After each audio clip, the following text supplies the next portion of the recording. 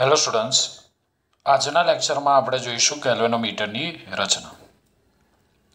તો ગેલ્વેનોમીટરની રચનામાં નળાકાર આકારના બે ચુંબકો હોય છે. આ જે ચુંબકો છે, એ ચુંબકો નિયમિત ચુંબકીય ક્ષેત્ર ઉત્પન્ન કરે છે, જો કઈ રીતના. અહીંથી આપણે એક ચુંબક લઈ લઈએ.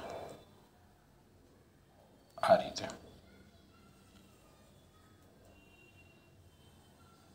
યસ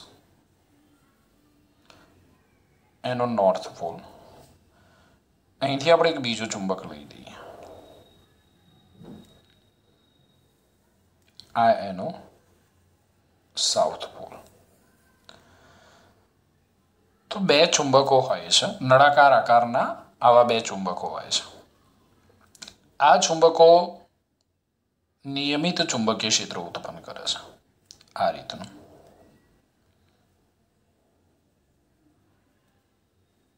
આ બધી ચુંબકીય ક્ષેત્ર રેખાઓ છે અને ચુંબકીય ક્ષેત્ર રેખાઓ કઈ દિશામાં હોય એનથી એસની દિશામાં હોય આ રીતે એનથી એસની દિશામાં ચુંબકીય ક્ષેત્ર રેખાઓ છે હવે આ નિયમિત ચુંબકીય ક્ષેત્રમાં એક લંબચોરસ ગૂંચળાને, એન આટાવાળા ગૂંચળાને આ નિયમિત ચુંબકીય ક્ષેત્રમાં એક લંબચોરસ, એન આટાવાળા ગૂંચળાને એવી રીતે મૂકવામાં આવે છે કે લટકાવવામાં આવે છે. કે જેથી આ ગૂંચળું છે ને, એ ગૂંચળું મુક્ત રીતે ભ્રમણ કરી શકે. એટલે આને આપણે ગૂંચળાની ભ્રમણક્ષ કહી શકીએ. તો મેં તમને કીધું કે ગેલોનોમીટરની રચનામાં બે નળાકાર આકારના ચુંબકો હોય છે, જે નિયમિત ચુંબકીય ક્ષેત્ર ઉત્પન્ન કરે છે. આ નિયમિત ચુંબકીય ક્ષેત્રમાં એક એન આંટાવાળા ગૂંચળાને એવી રીતે લટકાવવામાં આવે છે કે જેથી તે મુક્ત રીતે ભ્રમણ કરી શકે. હવે ત્રિજ્યાવર્તી સમાન ચુંબકીય ક્ષેત્ર ઉત્પન્ન કરવા માટે. ત્રિજ્યાવર્તી સમાન ચુંબકીય ક્ષેત્ર ઉત્પન્ન કરવા માટે ગૂંચળાની અક્ષની ફરતે, ગૂંચળાને અડકે નહીં તે રીતે એક લોખંડનો નળાકાર રાખવામાં આવે છે. ત્રિજ્યાવર્તી સમાન ચુંબકીય ક્ષેત્રો ઉત્પન્ન કરવા માટે ગૂંચળાની અક્ષને અડકે નહીં તે રીતે લોખંડનો નળાકાર રાખવામાં આવે છે. આ છે આપણો ગૂંચળો. ઓકે?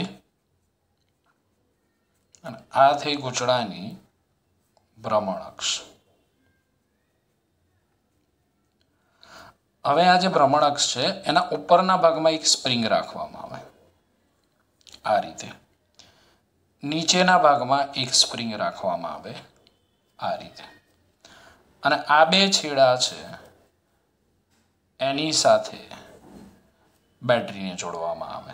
ધારો કે આ પોઝિટિવ ટર્મિનલ છે અને આ નેગેટિવ ટર્મિનલ છે. ધારો કે આ પોઝિટિવ છે.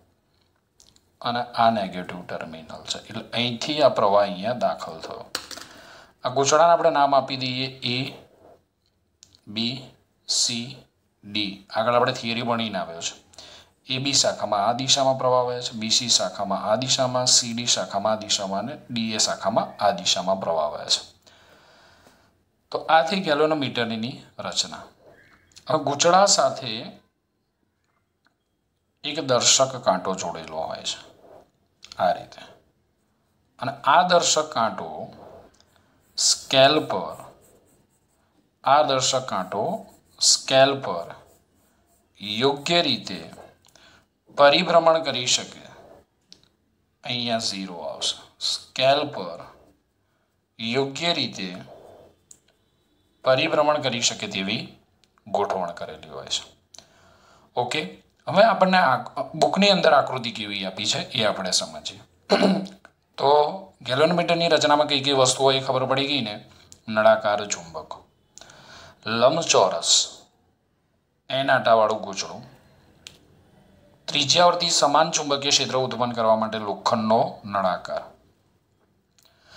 આ જે ભ્રમણક્ષ છે એની ઉપર અને નીચે સ્પ્રિંગો ગોઠવેલી હોય છે. ગૂંચળા સાથે દર્શક કાંટો જોડેલો હોયેલો છે. એટલે ગૂંચળું ભ્રમણ કરે એટલે દર્શક કાંટો પરિભ્રમણ કરે.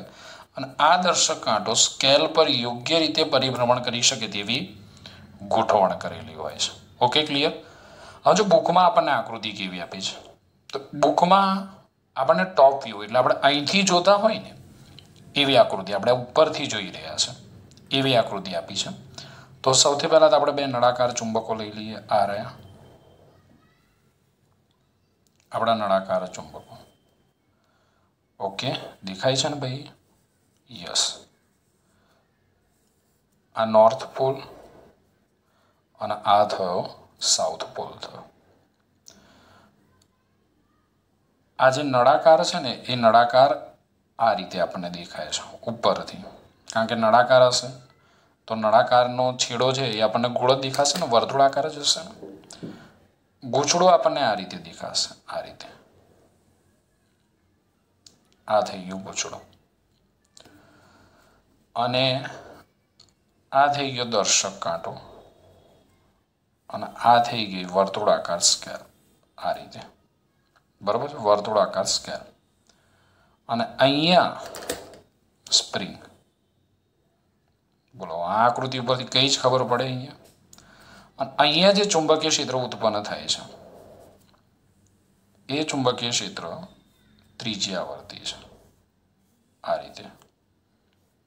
ત્રિજ્યાવર્તી નિયમિત ચુંબકીય ક્ષેત્ર ઉત્પન્ન થાય. તો આ શું છે? નરમ લોખંડનો નળાકાર છે. ઓકે, આ જે છે એ ગૂંચળો છે. આ જે છે, એ સ્પ્રિંગ છે. દર્શક કાંટો. અને આ શું છે, સ્કેલ છે. ઓકે? આ રીતની આકૃતિ આપણને બુકની અંદર આપેલી છે. હવે જે આ ગૂંચળું છે ગૂંચળું કઈ રીતે બનાવેલું હોય? તો પાતળી લંબચોરસ તકતી હોય. પાતળી એકદમ લંબચોરસ તકતી હોય.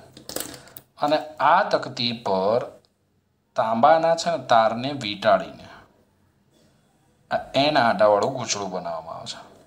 તાંબાના તારને વીંટાળીને એન આટાવાળું આવું લંબચોરસ ગૂંચળું બનાવવામાં આવે છે. આ તો આપણે આકૃતિના આધારે સમજ્યા. હવે આપણે પ્રેક્ટિકલી સમજીએ. જો, સૌથી પહેલાં આપણે એક નળાકાર ચુંબક લઈ લઈએ. આ રહ્યો આપણો નળાકાર ચુંબક. ઓકે? થોડોક આપણે અહીંયા મૂકી દઈએ. આ નળાકાર દેખાય એ રીતે. નળાકાર ચુંબક. હવે આવી ગયો નળાકાર ચુંબક અહીંયા. નિયમિત ચુંબકીય ક્ષેત્ર ઉત્પન્ન કરે છે. હવે આ લોખંડનો નળાકાર અને એ લોખંડના નળાકારની અંદર ગૂંચળાને અડકે નહીં તે રીતે આપણે આ અહીંયા લોખંડનો નળાકાર અને ગૂંચળું અડકે નહીં તે રીતની અહીંયા ગોઠવણ કરેલી છે. બરાબર છે? તો હું જો તમને બતાવું. તો આપણો લોખંડનો નળાકાર આ જે છે ને, એ લોખંડનો નળાકાર. પછી આ જે છે ને, એ આપણું ગૂંચળું છે. આ છે ભ્રમણ અક્ષ ઓકે આ જે છે એ ભ્રમણ અક્ષ તો ગેલોનોમીટરની રચનામાં શું હોય? જો થિયેટિકલ મુદ્દા ધ્યાન આપજો. ગેલોનોમીટરની રચનામાં નળાકાર આકારના ચુંબકો હોય છે. જે નિયમિત ચુંબકીય ક્ષેત્ર ઉત્પન્ન કરે છે. આ ચુંબકીય ક્ષેત્રમાં ધાતુની તકતી પર તાંબાનો પાતળો તાર. આ દેખાઈ રહ્યો તમને. એ થોડુંક ઝૂમ કરું અહીંયા. લંબચોરસ ધાતુની પાતળી તકતી પર તાંબાનો તાર વીંટાળીને એન આંટાવાળું ગૂંચળું બનાવવામાં આવે છે. અને આ ગૂંચળાને ચુંબકીય ક્ષેત્રમાં મુક્ત રીતે ભ્રમણ કરી શકે તેમ લટકાવવામાં આવે છે. હવે કેન્દ્રવર્તી સમાન ચુંબકીય ક્ષેત્ર, કેન્દ્રવર્તી સમાન ચુંબકીય ક્ષેત્ર ઉત્પન્ન કરવા માટે, દેખાય ને ગુચડોમાં કેન્દ્રવર્તી સમાન ચુંબકીય ક્ષેત્ર ઉત્પન્ન કરવા માટે ગુચડાની અક્ષ પર આ ગુચડાની અક્ષ છે ગુચડાની અક્ષ પર ગુચડાને અટકે નહીં તે રીતે આ નરમ લોખંડનો નળાકાર રાખવામાં આવે છે ઓકે હવે તમે અહીંયા એક બરોબર સ્પ્રિંગ જોઈ શકો છો. આ એક. ઉપરના ભાગમાં એક સ્પ્રિંગ હોય અને આ નીચેના ભાગમાં એક સ્પ્રિંગ હોય. બરાબર? આ જે છેડો દેખાય તમને, એ બેટરીના પોઝિટિવ સાથે જોડવામાં આવે અને આ જે બીજો છેડો તમને દેખાય છે, આ. એ બેટરીના નેગેટિવ સાથે જોડવામાં આવે છે. ઓકે ખબર પડીને કઈ કઈ વસ્તુઓ છે? આ લંબચોરસ, પાતળી ધાતુની તકતીમાંથી બનાવેલું. એન આટાવાળું ગૂંચળું છે નરમ લોખંડનો નળાકાર જે ત્રિજ્યાવર્તી સમાન ચુંબકીય ક્ષેત્ર ઉત્પન્ન કરે છે અને આ નળાકાર આકારના ચુંબકો છે. હવે આ જે છે ને, દિવાસળી દેખાય છે, એ ગૂંચળાનું ક્ષેત્રફળ સદીશ છે. આ જે છે ને એ દર્શક કાંટો છે. આ અને આ જે છે ને, એ ચુંબકીય ક્ષેત્રની દિશા દર્શાવે છે. આ જે સ્ટીક છે, ચુંબકીય ક્ષેત્રની દિશા દર્શાવે છે. અને આ જે છે, એ દર્શક કાંટો છે. જો હવે શું થાય છે? તો જ્યારે ગૂંચળામાંથી વિદ્યુત પ્રવાહ પસાર કરવામાં આવે બરાબર છે? તો આ ગૂંચળાની એ બી બાજુ છે. એટલે એબી બાજુમાંથી આમ ઉપરની દિશામાં પ્રવાહ વહે છે અને આ સીડી બાજુ છે. સીડી બાજુમાંથી નીચેની દિશામાં પ્રવાહ વહે છે. આપણે આખી રચના ભણીને આવ્યા છે કે વિદ્યુત પ્રવાધારિત ગૂંચળાને ચુંબકીય ક્ષેત્રમાં મૂકવામાં આવે એટલે એના પર ટોર્ક લાગે. તો જ્યારે આ ગૂંચળામાંથી પ્રવાહ પસાર કરવામાં આવે ને, ત્યારે એબી બાજુ પર નીચેની તરફ આ રીતે અને સીડી બાજુ પર ઉપરની દિશામાં ટોર્ક લાગે. જેને પરિણામે શું થાય છે? આ ગૂંચળું પરિભ્રમણ કરે. ગૂંચળું પરિભ્રમણ કરે એટલે ગૂંચળા સાથે જે આ સ્પ્રિંગો જોડેલી છે, એ સ્પ્રિંગોમાં સંકોચન ઉદ્ભવે. જ્યારે ગૂંચળામાંથી વિદ્યુત પ્રવાહ પસાર કરવામાં આવે ગૂંચળામાંથી વિદ્યુત પ્રવાહ, બરાબર છે? અત્યારે આ દર્શક કાંટો ઝીરો ઉપર છે. આ જે દર્શક કાંટો છે, એ દર્શક કાંટો, ઓહો, દેખ, આવતો જ નથી. આમ જ રાખીએ છીએ દર્શક કાંટો ઝીરો ઉપર છે. જ્યારે ગૂંચળામાંથી વિદ્યુત પ્રવાહ પસાર કરીએ, ત્યારે ગૂંચળા પર ટોર્ક લાગે, પરિણામે ગૂંચળું પરિભ્રમણ કરે. પરિભ્રમણ કરે એટલે ગૂંચળા સાથે જોડેલી જે આ સ્પ્રિંગો છે બરાબર છે? આ સ્પ્રિંગોને શું કરેલી હોય? કોઈ એક આધાર સાથે જડિત કરેલું હોય, એનો એક છેડો જડિત કરેલો એટલે આ જ્યારે અક્ષ પરિભ્રમણ કરે ને એટલે આ જે સ્પ્રિંગો છે એની અંદર સંકોચન ઉદ્ભવે. સંકોચન ઉદ્ભવે એટલે સ્પ્રિંગ પોતાની મૂળ સ્થિતિમાં આવવાનો પ્રયત્ન કરે. એટલે સમજો કે ગૂંચળું આ દિશામાં, આ દિશા એટલે આપણે સમઘડી દિશામાં, ગૂંચળામાં સમઘડી દિશામાં ટોર્ક લાગે છે. અને આ જે સ્પ્રિંગ છે, એ સ્પ્રિંગ પોતાની મૂળ સ્થિતિમાં આવવાનો પ્રયત્ન કરે છે. એટલે સ્પ્રિંગમાં પુનઃસ્થાપક ટોર્ક ઉદ્ભવે છે. તો જ્યારે ગૂંચળામાં ઉદ્ભવતું ટોર્ક અને આ સ્પ્રિંગમાં ઉદ્ભવતું પુનઃસ્થાપક ટોર્ક સમાન થાય ત્યારે ગૂંચળું છે ને સ્થિર કોણાવર્તન દર્શાવે છે. એટલે ગૂંચળું સ્થિર થઈ જાય છે અહીંયા. પરિભ્રમણ અટકી જાય છે. હવે આ જે ગૂંચળાનું સ્થિર કોણાવર્તન છે ને, એ ગૂંચળા સાથે જોડેલા દર્શકની મદદથી, આ ગૂંચળા સાથે જે દર્શક જોડેલો છે, એ દર્શકની મદદથી શોધી શકાય અને દર્શક સ્કેલ પર યોગ્ય રીતે પરિભ્રમણ કરી શકે ને તેવી ગોઠવણ કરેલી હોય છે. ઓકે, તો આ ગેલેનોમીટરની રચના છે. એકદમ સિમ્પલ રચના છે. જો કઈ રીતે લખવાની છે સમજો. કે ગેલેનોમીટરની રચનામાં એન આંટાવાળું ગૂંચળું કેન્દ્રવર્તી સમાન ચુંબકીય ક્ષેત્રમાં અક્ષની આસપાસ મુક્ત રીતે પરિભ્રમણ કરી શકે તેમ લટકાવેલું હોય છે. ત્રિજ્યાવર્તી સમાન ચુંબકીય ક્ષેત્ર ઉત્પન્ન કરવા માટે ગુજરાની અક્ષ પર ગૂંચળાને અડકે નહીં તે રીતે લોખંડનો નળાકાર રાખેલો હોય છે. ગૂંચળામાંથી વિદ્યુત પ્રવાહ પસાર કરતા ચુંબકીય ક્ષેત્રને કારણે ગુજરા પર ટોર્ક લાગે છે. ગૂંચળું કોણાવર્તન દર્શાવે છે. બંને છેડે રાખેલી સ્પ્રિંગ દ્વારા ગૂંચળા પર પુનઃસ્થાપક ટોર્ક લાગે છે અને ગુજડું સ્થિર કોણાવર્તન દર્શાવે છે અને ગૂંચળાનું સ્થિર કોણાવર્તન ગુજરા સાથે જોડેલા દર્શકની મદદથી શોધી શકાય. દર્શક સ્કેલ પર યોગ્ય રીતે પરિભ્રમણ કરી શકે તે રીતે ગોઠવેલો હોય છે. ઓકે? અને દર્શકના સ્કેલ પરના સ્થાન પરથી આપણે ગુજરામાંથી પસાર થતા વિદ્યુત પ્રવાહનું માપન કરી શકીએ છીએ. હવે જે મેઇન મુદ્દો અહીંયા સમજવાનો છે, આ થિયરીની અંદર એ મેઇન મુદ્દો કયો છે? કે આ જે લોખંડનો નળાકાર છે, એ ત્રિજ્યાવર્તી સમાન ચુંબકીય ક્ષેત્ર ઉત્પન્ન કરે છે. જેને કારણે ગૂંચળાની કોઈ પણ કોણીય સ્થિતિમાં આ ચુંબકીય ક્ષેત્ર બી અને ગૂંચળાના ક્ષેત્રફળ સદીશ એ વચ્ચેનો કોણ નાઇન્ટી રહે છે. લોખંડના નળાકારનું અહીંયા કામ શું છે? તો એ લોખંડનો નળાકાર અહીંયા ત્રિજ્યાવર્તી ચુંબકીય ક્ષેત્ર ઉત્પન્ન કરે છે. કેવું ત્રિજ્યાવર્તી? હું તમને બતાવું. આ જે લોખંડનો નળાકાર છે, એ અહીંયા કેવું ચુંબકીય ક્ષેત્ર ઉત્પન્ન કરે છે? તો નળાકારની આજુબાજુ આ રીતનું ત્રિજ્યાવર્તી ચુંબકીય ક્ષેત્ર હોય છે. એ આમ. આ ચુંબકીય ક્ષેત્ર છે. જો. હવે અત્યારે ધારો કે આ દિશામાં છે ચુંબકીય ક્ષેત્ર. બરોબર છે? અને ક્ષેત્રફળ સદીશ આ દિશામાં છે. હવે આપણે ગુજરાતને પરિભ્રમણ કરાવીએ જો ગુચડાને પરિભ્રમણ કરાવો તમે, એટલે ધારો કે અહીંયા આવ્યું, ચુંબકીય ક્ષેત્ર આ દિશામાં. તો અહીંયા ક્ષેત્રફળ સદીશ તો આ દિશામાં છે. એટલે કોઈ પણ ગુજરાતની કોઈ પણ કોણીય સ્થિતિમાં જે આ એ અને બી વચ્ચેનો કોણ છે ને, એ એ અને બી વચ્ચેનો કોણ ગુજરાતની કોઈ પણ કોણીય સ્થિતિમાં નાઇન્ટી રહે છે. કેમ? કારણ કે આ લોખંડનો નળાકાર છે, એ આ પ્રકારનું ત્રિજ્યાવર્તી ચુંબકીય ક્ષેત્ર ઉત્પન્ન કરે છે. એ ચુંબકીય ક્ષેત્ર કેવું હોય? એ તમારે જોવું હોય ને તો હું તમને બતાવું. એ ચુંબકીય ક્ષેત્ર આ રીતનું હોય. એ આ રીતનું.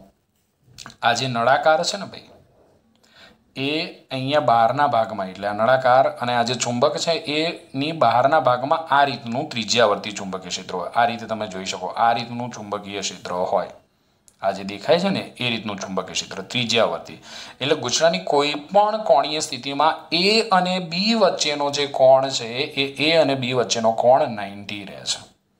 આ મુદ્દો આ થિયરીની અંદર સમજવાનો હતો કે લોખંડનો જે નળાકાર છે, ત્રિજ્યાવર્તી ચુંબકીય ક્ષેત્ર ઉત્પન્ન કરે છે, જેને કારણે ગુજરાતની કોઈ પણ કોણીય સ્થિતિમાં બી અને એ વચ્ચેનો જે કોણ છે, એ કોણ કેટલો રહે છે? નાઇન્ટી રહે છે. આઈ હોપ તમને ગેલ્વેનોમીટરની રચનામાં ખ્યાલ આવ્યો હશે. બરાબર છે આકૃતિ કઈ રીતે દોરવાની છે એ પણ તમને ખ્યાલ આવી ગયો હશે. અને ગેલોનોમીટરની રચનામાં કઈ કઈ વસ્તુઓ હોય છે એ પણ તમે અહીંયા સમજ્યા હશો. બરાબર છે? ફરી એકવાર જોઈ લો.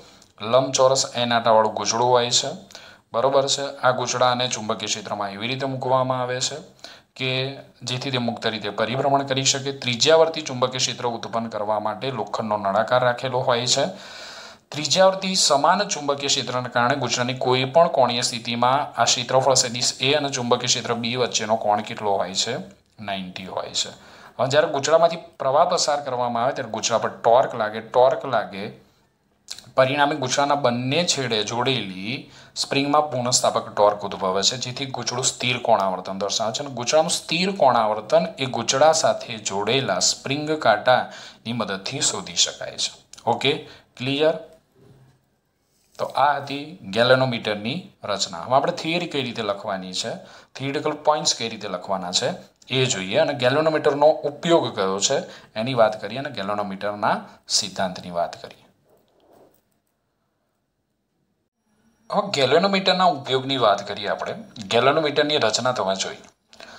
તો ગેલેનોમીટરનો ઉપયોગ વિદ્યુત પ્રવાહની હાજરી નોંધવા માટે થાય છે.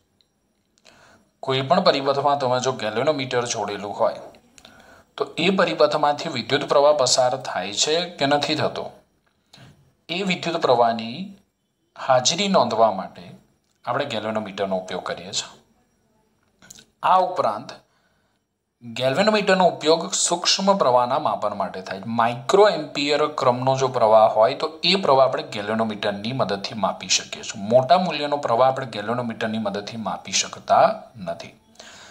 આ ઉપરાંત કોઈ પરિપથમાં વિદ્યુત પ્રવાહની દિશા શોધવી હોય તો એ વિદ્યુત પ્રવાહની દિશા પણ આપણે ગેલ્વેનોમીટરની મદદથી શોધી શકીએ છીએ. કઈ રીતે? સમજો તો આ રહ્યું આપણું ગેલ્વેનોમીટર.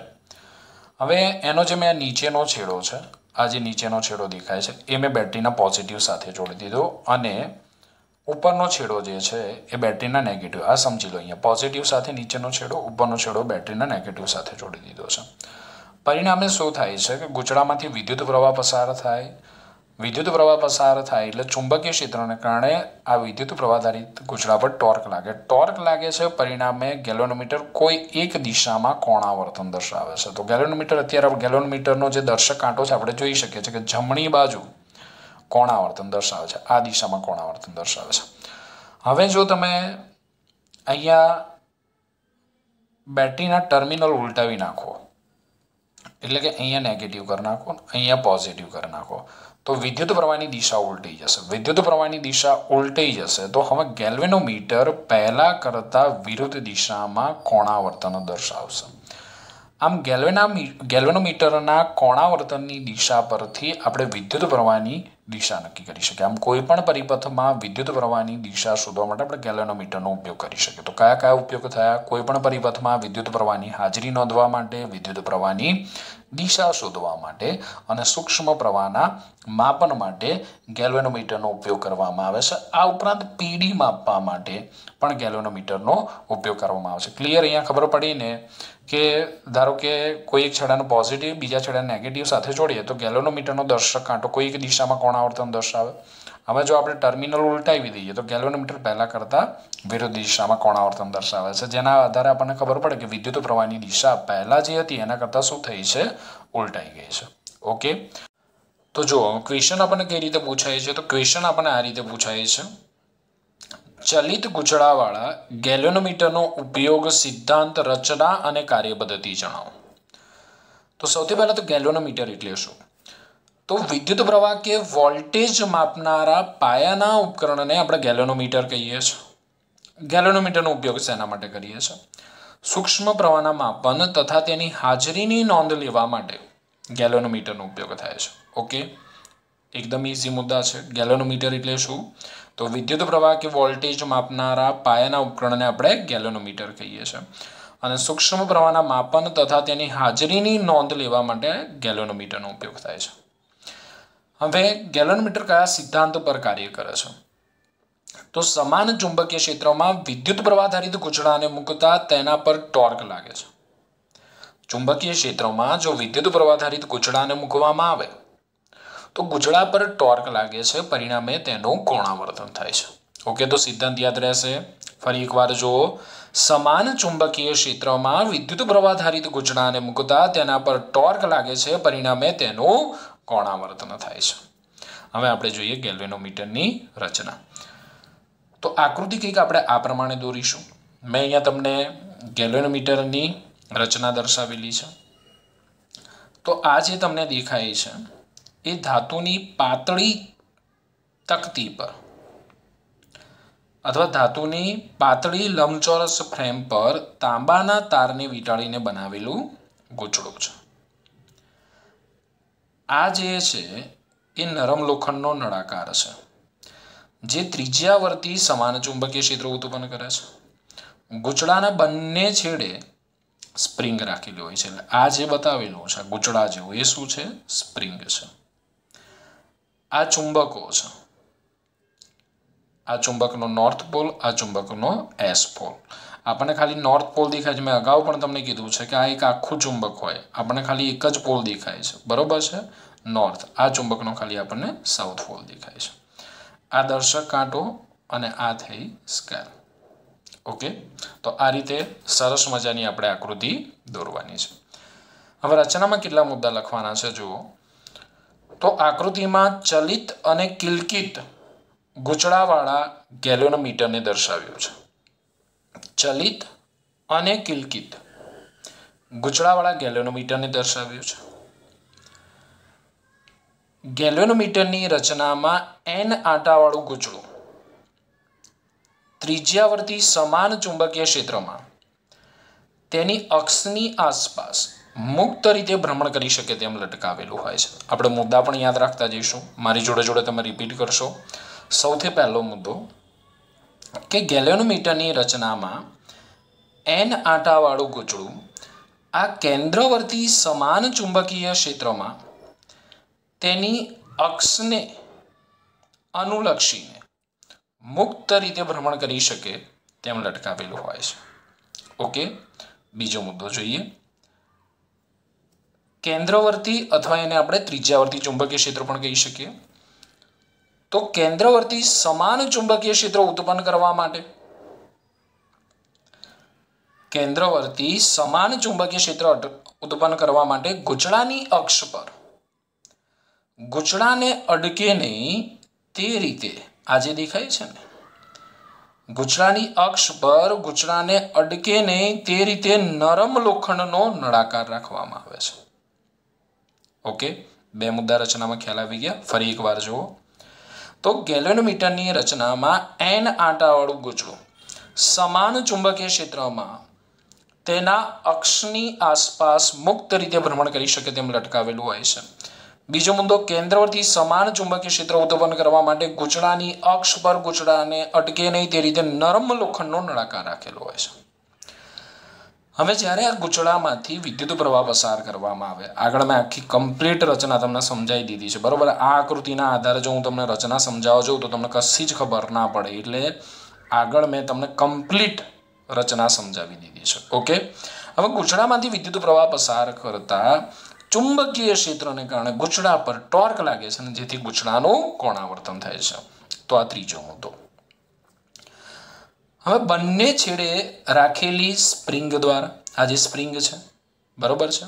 તો બંને, ગૂંચળાના બંને છેડે રાખેલી સ્પ્રિંગ, એને કમાન પણ કહેવાય. દ્વારા ગૂંચળા પર પૂર્ણસ્થાપક ટોર્ક લાગે છે અને ગૂંચળો સ્થિર કોણાવર્તન દર્શાવે. તો આ ચોથો મુદ્દો થયો. તો પહેલા બે મુદ્દા આપણે યાદ રાખીશું. પેરમાં પહેલો બીજો, પછી ત્રીજો ચોથો મુદ્દો. કે ગૂંચળામાંથી વિદ્યુત પ્રવાહ પસાર કરતા ચુંબકીય ક્ષેત્રને કારણે ગૂંચળા પર ટોર્ક લાગે છે. પરિણામે ગૂંચળાનું કોણાવર્તન થાય છે. અને બંને ગૂંચડાના બંને છેડે રાખેલી સ્પ્રિંગ દ્વારા ગૂંચળા પર પુનઃસ્થાપક ટોર્ક લાગે છે અને ગૂંચળું સ્થિર કોણાવર્તન દર્શાવે છે. હવે આ જે ગૂંચળાનું સ્થિર કોણાવર્તન, એટલે હવે ગૂંચળું છે ને પરિભ્રમણ કરતું અટકી જાય છે. તો ગૂંચળાનું સ્થિર કોણાવર્તન ગૂંચળા સાથે જોડેલા દર્શકની મદદથી શોધી શકાય છે. તો પાંચમો મુદ્દો. કે ગૂંચળાનું સ્થિર કોણાવર્તન ગૂંચળા સાથે જોડેલા દર્શકની મદદથી શોધી શકાય છે. ઓકે? અને અહીં દર્શક કાંટો સ્કેલ પર યોગ્ય રીતે ભ્રમણ કરી શકે તેવી ગોઠવણ કરેલી હોય છે. અને દર્શક કાંટાના સ્કેલ પરના સ્થાન પરથી ગૂંચળામાંથી પસાર થતા વિદ્યુત પ્રવાહની જાણકારી મેળવી શકાય છે. ઓકે? તો હવે જો અહીંયા ધ્યાન આપો. છઠ્ઠો અને સાતમો મુદ્દો, દર્શક કાંટા વિશેનો છે. પાંચ, છ, સાત મુદ્દા દર્શક કાંટા વિશેના છે. ઓકે? તો પહેલાં આપણે પહેલો બીજો મુદ્દો યાદ રાખવાનો, પછી ત્રીજો, ચોથો, પછી આ ત્રણ મુદ્દા, પાંચ, છ અને સાત.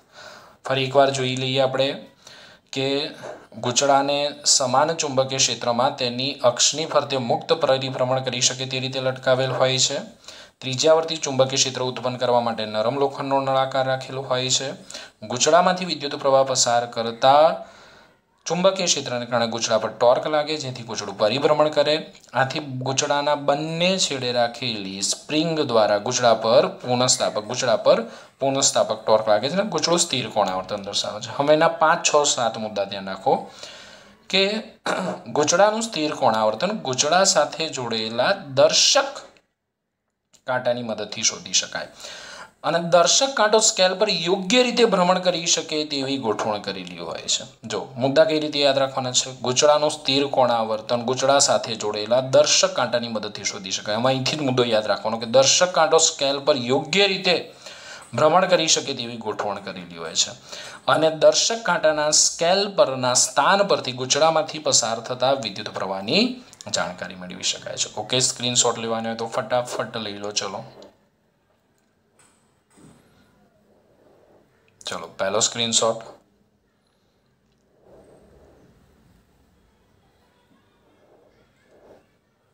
બીજો સ્ક્રીનશોટ